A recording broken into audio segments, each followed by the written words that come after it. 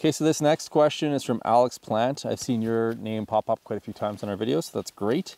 Um, it's not really a question, more of a comment, but I thought it was worth sharing. So his comment is, I used to design drainage systems for sports fields, so I'm somewhat of an expert on soil permeability.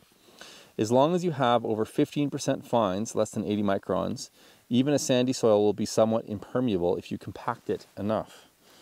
Nothing is completely impermeable, so the real question is how permeable do you need it to be? Compaction has an enormous impact on permeability. So if you have the permeability done in the test, um, you need to know how compacted the sample was. And if possible, have it tested according to several degrees of compaction. Also, I would advise having the sand tested for iron oxide to see if there's a risk of bacterial sludge forming in your perforated drains. So this is great advice, Alex, and um, I think what you're saying makes tons of sense. There's a couple of caveats there that I would add to it. If you're just building a dugout, which is essentially just taking a flat piece of land like this snow here and digging a hole in the ground and then extracting all of the material out and coming in and compacting everything, then you're absolutely right that this will hold some uh, water to a certain degree.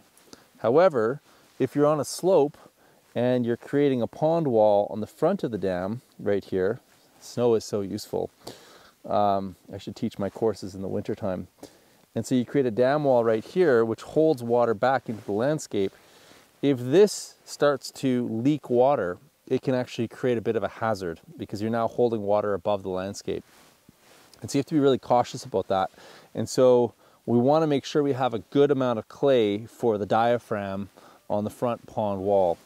And so if we don't have enough clay in the system, that's when we would use a geotextile membrane to protect um, this wall and reduce that permeability eh, to maintain the integrity of that, that dam wall.